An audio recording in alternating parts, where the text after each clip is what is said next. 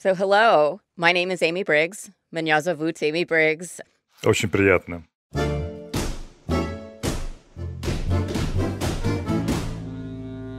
I'm dusting off my very rusty college Russian because this story starts in Siberia back in 1988 when archaeologists hit the jackpot.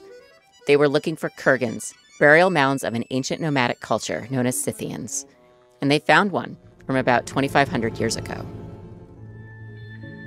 В одном из захоронений оказалась колода. In one of the burials, there was a tightly closed, hollowed out log with a well preserved, mummified body of a child. Хранилось мумифицированное тело ребенка.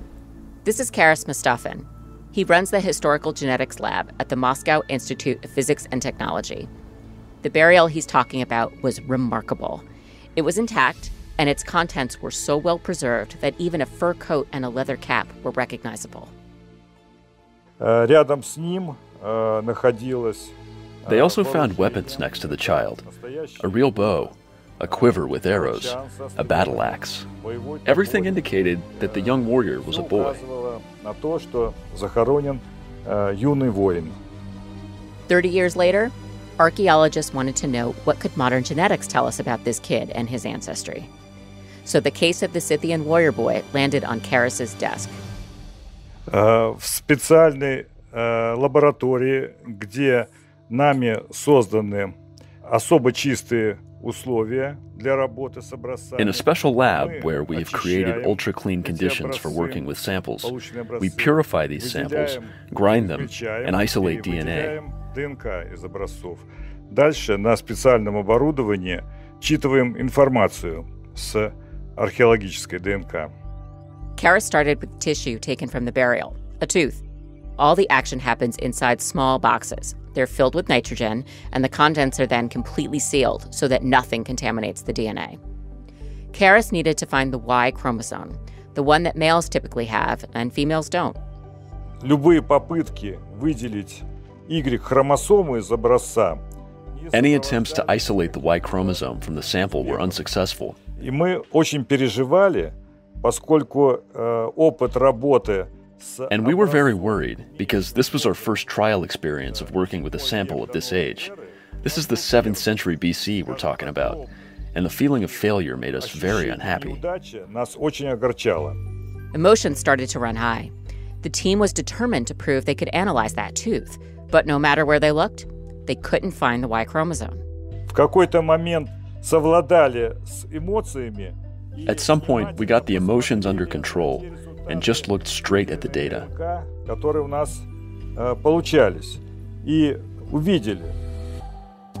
And that's when he realized what was staring him right in the face.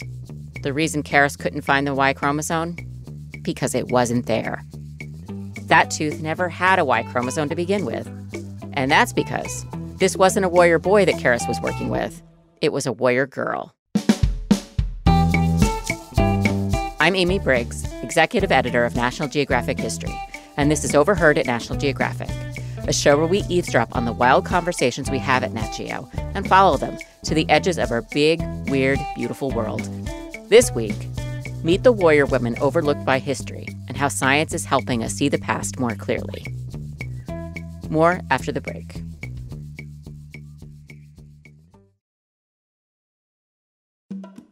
Warrior women were always kind of a thing with me. Growing up, there were plenty to choose from. You had Princess Leia, Charlie's Angels, Miss Piggy. But top of the list was probably Wonder Woman. She had bulletproof bracelets, the lasso of truth, super strength, invisible jet. She had it all. So Wonder Woman was an Amazon, and her origin story tied back to the female warriors of ancient Greek myth. So I had always wanted to do an Amazon story for National Geographic History magazine, and we decided to publish one. So when that time came around, we knew exactly who to call. I have always been interested in Amazons, and I actually began by drawing them and making etchings of Amazons because I loved their costumes and the way they were portrayed as these strong, independent women. This is Adrienne Mayor. She's a classic scholar at Stanford and devoted to all things Amazon. In ancient legends, the Amazons were strong, brave, skilled at combat and riding horses, and they fought as well as men. but they weren't from Greece. According to the myths, they were from the outskirts of the so called known world. And Adrienne learned that to tell their story, you have to be a tough woman yourself. Decades ago, she fixated on this legendary battle when an Amazon army invaded Athens. And I proposed an article to Military History Quarterly in 1990 and said that we have so many details from the ancient writers about this battle that I could make battle maps and analyze the strategy of the Amazons and the Athenians in this famous mythic battle. Oh, that's so cool. And it was turned down. but I had a plan. I asked my husband to uh, serve as my co author. So I proposed it again. We proposed it. He proposed it with his name first and mine second, the exact same proposal, and they accepted it. Oh, get out of town.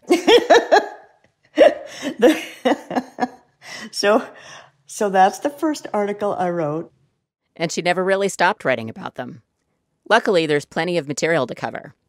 So let's say you lived in ancient Greece in its heyday, you know, about 2,500 years ago. Tales of gods and monsters and heroes, all the myths that we know today, they were kind of like pop culture to them. And the Amazons, they were the opponents and sometimes lovers of Greece's greatest heroes, like the warrior Achilles, who'd battled Penthesilea during the Trojan War. I don't know if that's how you say that. I think it's Penthesilea. Okay, I got it. Let's try this one more time. And the Amazons, they were the opponents and sometimes lovers of Greece's greatest heroes, like the warrior Achilles, who battled an Amazon named Penthesilea during the Trojan War. In one story, the Greek hero Theseus teams up with Heracles, who you may also know as Hercules.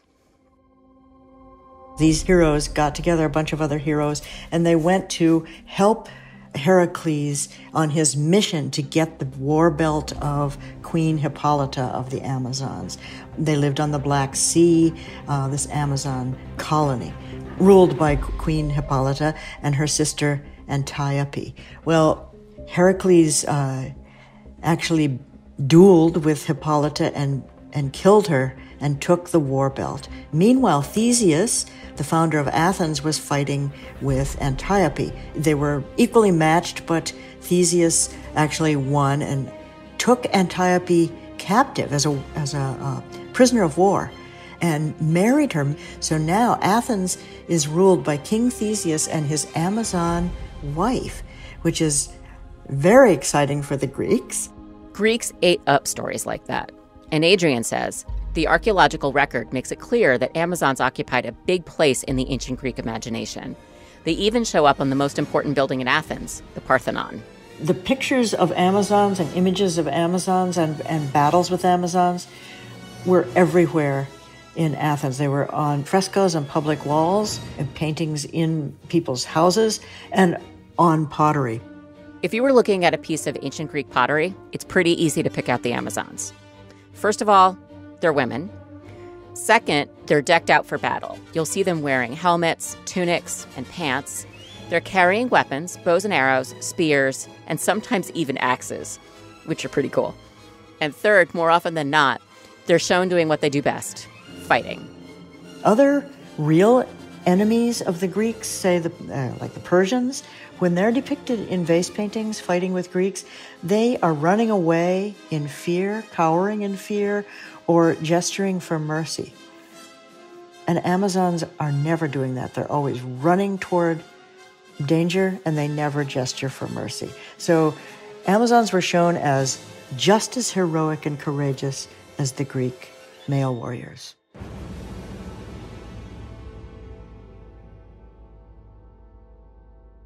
The Amazons were so pervasive in Greek culture, there were even action figures. And we also know that little girls played with Amazon dolls, clay dolls, some of them with moving legs and arms, and that you could you could actually dress them in different costumes and they're holding weapons and they have helmets and they've been found in little girls' graves. But the Greek fascination doesn't mean they were totally comfortable with the idea of female warriors, especially in their own culture. Amazons couldn't be any more different from the Greek women they knew. proper Greek women were expected to stay indoors most of their lives or in the, you know, portico, a protected courtyard, weaving and minding children. They didn't live uh, the active outdoor life, participating in the same activities as the men in Greece. And that stark difference made a deep impression on the Greeks. This difference did inspire admiration, but not imitation. I found out about this when we were searching for images for Adrienne's magazine story. One of my favorites wound up on the cover. It was from a terracotta jug, and the scene shows a woman thrusting a spear at a man holding a shield and a sword. She's fully clothed. And the Greek guy? Well, he's not wearing anything, except his helmet. The cover image we have is a fully dressed woman, and she's battling a totally naked Greek guy. I love it. it's so funny because classical vase scholars would say that the male Greek heroes are always dressed in a costume of heroic nudity. and the ancient Greeks, uh, they thought that wearing trousers was one of the most barbaric things you could do. It's just outrageous that you would be covering your entire body in this way. So the Greeks surrounded themselves with depictions of these so called barbarians, almost like they were creating a thrilling alternate universe.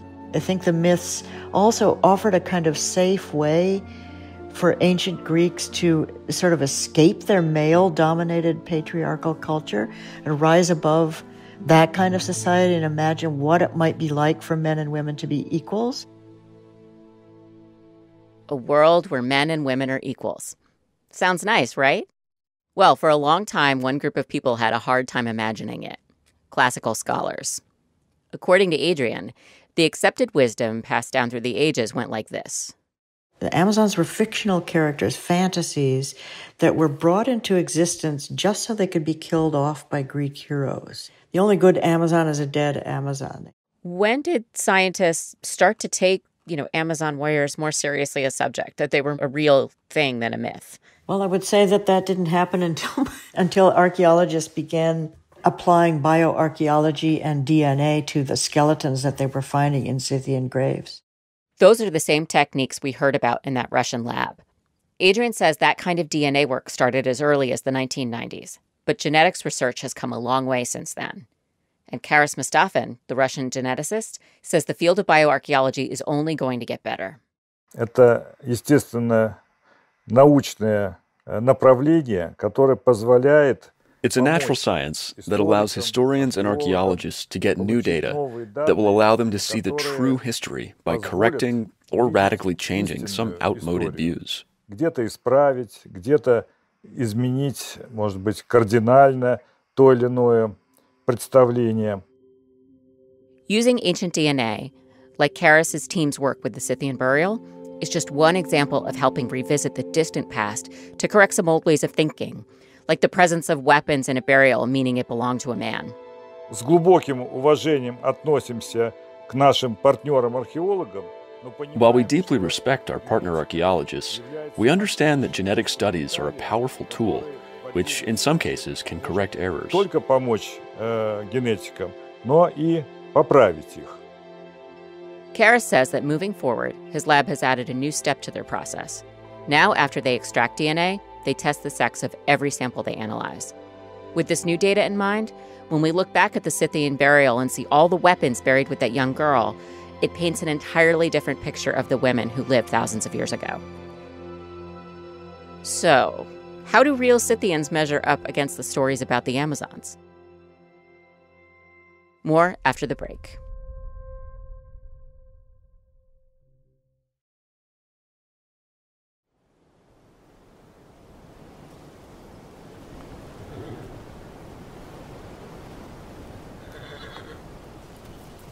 Starting about 2,700 years ago, we know that the Scythian people lived all over Asia, in the lands around the Black Sea, where the Greeks said the Amazons lived, and all the way east to Mongolia and north to Siberia. They lived a nomadic life, riding across wide open grasslands called steppes. You're in a small group on the on the harsh steppes. The climate is harsh, the topography is harsh. You're always on the move, facing constant threat of, of enemies. That means that everyone, male and female, young and old, everyone's a stakeholder. Everyone's expected to take part in defense and raids and hunting and all those activities. So it was natural and necessary to teach the boys and girls the same uh, skills, the same horse riding, hunting, fighting skills. From day one, archaeologists could see that Scythian people were warlike. Many of their burials included lots of weapons, and their bodies often had signs of serious injuries, like broken ribs or fractured skulls. Like the Amazons, the Scythians were expert equestrians, which explains the pants you can see on all those Greek vases. The Greek concept of heroic nudity just doesn't work on horseback. And of course, if you're going to do that, you have to have trousers or leggings. Uh, and so they invented the world's first tailored garments. If you think about it, it the Greeks and Egyptians, uh, they're all wearing big rectangles of cloth pinned together. The Scythians are wearing tailored garments so, horses and pants, check. Another Amazon skill, according to the myths archery. The Scythians were expert archers too, and they were known for using what's called a recurve bow, which is a smaller bow that's sort of shaped with curves, like like you imagine a cupid's bow. And this this kind of bow, a recurve bow, is great for using on horseback because it's small but it carries a huge amount of power, stores a lot of power, and this is the equalizer. This, combined with horse riding, this bow is the equalizer for women in Scythian culture. You put a girl or a woman on a horse with a recurve bow, she can be just as fast, just as deadly as any boy or man. Here's just one example of how deadly a Scythian could be. Scythians had a signature move called the Parthian shot. Okay, so imagine you're on a horse, you're in battle, you're galloping at top speed, and you grab your bow and arrow. But instead of shooting forward, you turn around and fire off a volley behind you without slowing down. And if that weren't enough, Scythians were reported to dip their arrows in snake venom to make them poisonous.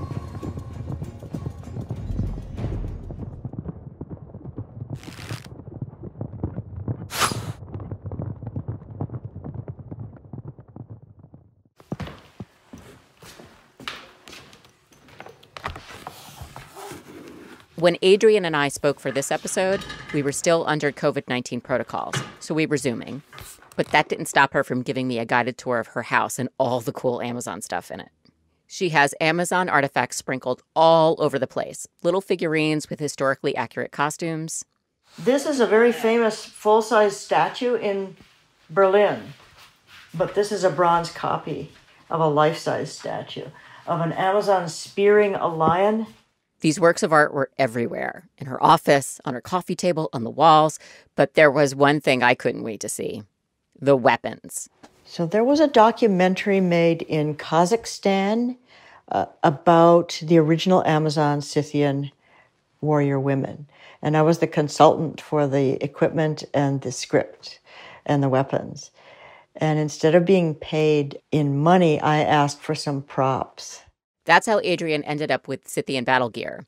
She held up a dagger, a quiver of arrows, and then the great equalizer. I'll have to set my phone down to bring it up. Oh, wow. This is the bow. They were made with many layers of larch wood, which takes years to dry, and it gives it that springiness so that it will store a lot of power. These objects that Adrienne surrounded herself with remind her that there was a time when women and men played on the same battlefield. Literally. My own dream uh, has always been for equality. So the relatively egalitarian culture of the of the Amazons and then the real steppe nomads who were the model for the Amazons, that really struck a chord with me. That kind of equality, you can even find it in ancient sources. The Greeks weren't the only ones who wrote about the Scythians. You find them in ancient Persian texts, also Egyptian and Chinese. And if you look beyond the Greeks, you see a picture that looks a lot more realistic. They have their heroes fighting the women, but they're so equally matched. They fall in love, and then they go off to win victories and suffer defeats and, and live to fight again. So I, I just think it's really amazing that outside of, of the Greek culture and Greek mythology, beyond the Greek world, uh, women warriors and male warriors could make love and war together as equals and then even sometimes live happily ever after. According to Adrienne, there's no doubt that the real life encounters with Scythian women inspired the Greek Amazon stories. The Amazons were more than myth, they were real. It took something as powerful as DNA to undo centuries of accepted wisdom. The good thing about natural scientific methods is that they can be verified. The DNA analysis that happens in Karas Mustafen's lab, he says it can overturn outdated ways of seeing the world. And as researchers get better, he's sure we'll find even more stories that we've gotten wrong. We just don't know what they are yet.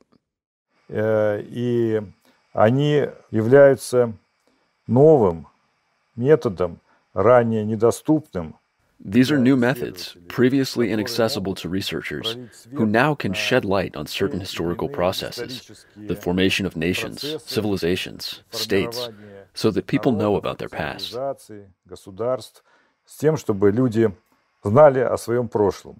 It helps check our present day biases. yes. For one, we're already learning that Scythian women weren't alone. Modern analysis shows that women fought alongside men all over the ancient world, from Peru to China to pre-Roman Italy. У нас время, когда женщины ну ни в чем не уступают мужчинам. Women today are no less powerful than men. Образ женщины сильной, которая э, умела делать and perhaps it's important that we have a model in an ancient society to look back to and validate and confirm that view in a way. правильности той жизненной позиции, которая, которая формируется в обществе. Karas and his lab are still at work analyzing the young warrior girl. But this time, they're not just looking into the girl's paternal lineage, they're looking for details about her mom's side, too. Because otherwise, they'd only have half the story. More after this.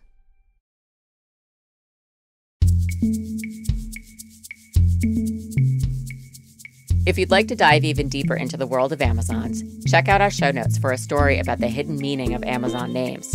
There are some fun ones like Hot Flanks and Don't Fail. For subscribers, you can check out the full History Magazine cover story that Adrienne wrote. And we also have photos of modern warrior women all around the world, taken by photojournalist Lynsey Addario. Also, Adrienne's written a whole book about these Amazons. It's called The Amazons Lives and Legends of Warrior Women Across the Ancient World. That's in our show notes, right there in your podcast app.